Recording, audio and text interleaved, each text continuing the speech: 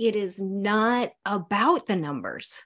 It's it's never ever about the numbers. It's about the stories that we tell ourselves because of those numbers. And those stories are deeply impacted by our upbringing, our influences, our faith, our values, you mm. name it. Mm. And that was when things started to fall into place for me because I realized it was never about the numbers for me. It was about the feelings and the resentment and the anger and frustration that I had that money had always represented obstacles. And in order for me to become someone who could be comfortable earning, who could be comfortable spending, who could be comfortable investing, and who could manage the resource that is money with any kind of healthy attitude, I needed to deal with my fears and my frustration and my anger toward money itself.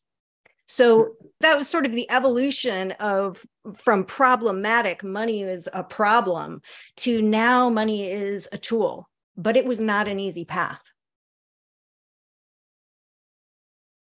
Greetings, Carl Richards here, and the clip you just watched was from my conversation with Dr. Sarah Newcomb.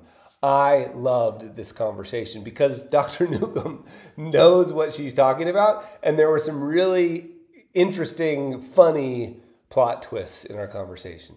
You would love it. To see the entire conversation, just try the membership's seven day free trial. To get an invitation to your free trial, just click below.